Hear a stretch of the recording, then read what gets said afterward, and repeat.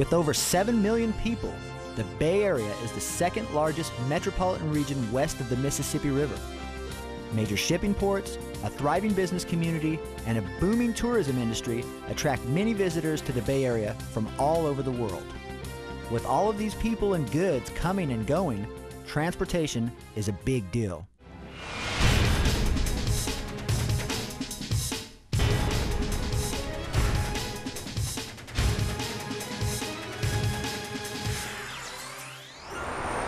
Hi, I'm Joey Mendez from the Caltrans Office of Environmental Engineering in District 4.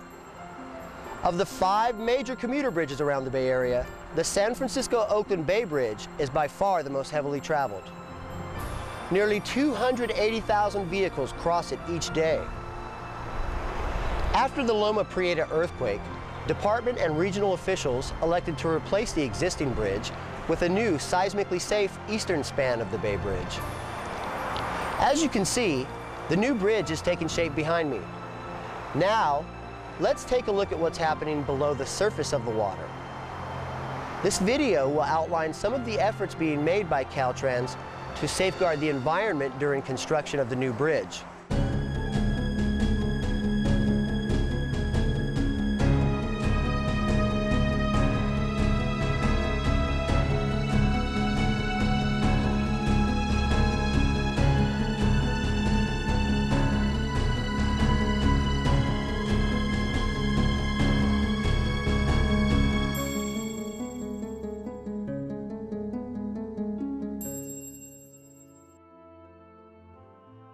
The fragile ecosystem of the San Francisco Bay requires some careful planning during a project of this scale. During the planning phase, an extensive environmental impact statement was prepared, which assessed the potential environmental impacts of constructing the new bridge and alternatives to avoid or mitigate these impacts. This process includes input from a number of environmental resource agencies. The National Marine Fisheries Service, U.S. Army Corps of Engineers, San Francisco Bay Conservation and Development Commission, and Regional Water Quality Control Board, to name a few. These agencies oversee project compliance with various environmental laws, such as the Clean Water Act and the Endangered Species Act, by issuing permits authorizing the project under specified conditions. In preserving the environment, water quality comes in at the top of the list. Pile driving, dredging, and pile cleanout are all construction activities that may compromise the water quality in the bay. Water quality is a concern for several important reasons. One reason is wildlife. The bay waters are home to a diverse community of wildlife. Water conditions are extremely important to birds, fish, and marine mammals. Even the slightest change in aquatic conditions can have negative impact. Another important reason for maintaining water quality here in the bay waters is a plant called eelgrass. Eelgrass is recognized by the National Marine Fisheries Service as being part of an essential fish habitat, meaning fish live and spawn in it. If sunlight is blocked from reaching these eelgrass beds because of muddy or turbid water stirred up by the construction, the eelgrass could die and possibly affect the ecosystem. To better understand exactly why so much attention has been paid to this marine plant, we talked with Caltrans biologist Melissa Barrow. Eelgrass is important to the food chain because several species of birds, including ducks and geese, actually eat the blades of grass. And herring, which are commercially important fish, use the blades of grass to lay their eggs on. And herring are important because they are a food source for salmon and cod, as well as marine mammals such as harbor seals and sea lions. Now that we have a better understanding about why monitoring water quality is so important, let's take a look at how we here in environmental engineering are achieving that.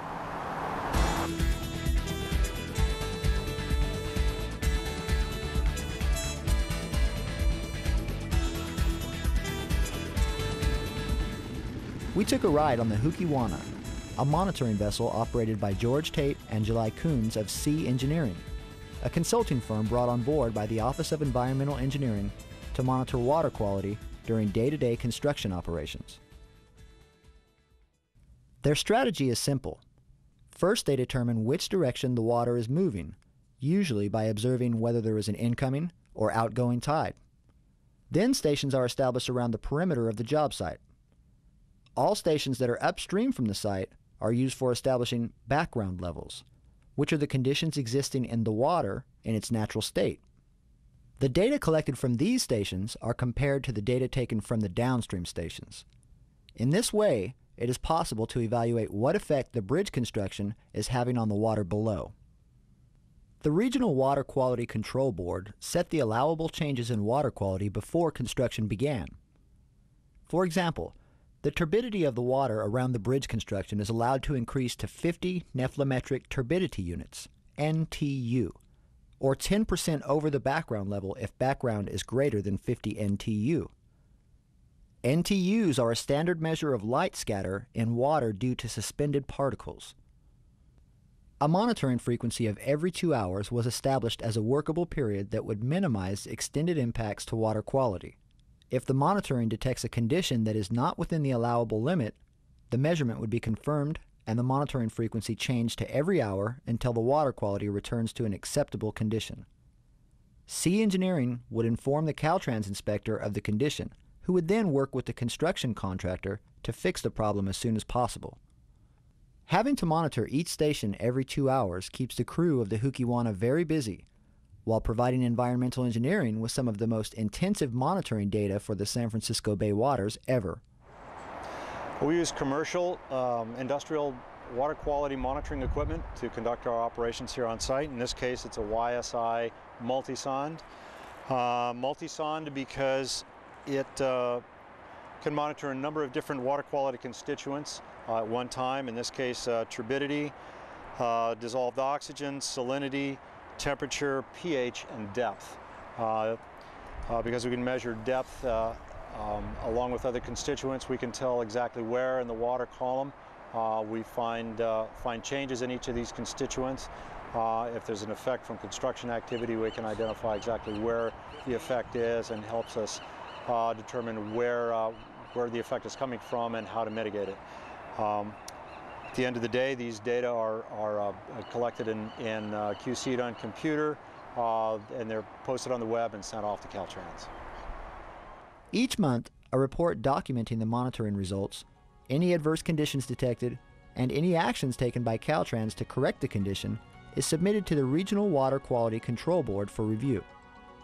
This allows them to evaluate the effectiveness of the adopted water quality standards and determine if any additional changes to the construction methods are needed. During almost three years of construction, there have been less than a dozen occasions when the turbidity of the bay water exceeded the limits set for the project. Most of these were related to the pile cleanout activity. The contractor was able to modify the flow rate of water within the system to reduce the concentration of particles discharged to the bay, which results in lower turbidity measurements. The Office of Environmental Engineering is a proud team member at Caltrans. Industry standards are often born at Caltrans, and the Office of Environmental Engineering is dedicated to following this trend. For the California Department of Transportation, I'm Joey Mendez. Thanks for watching.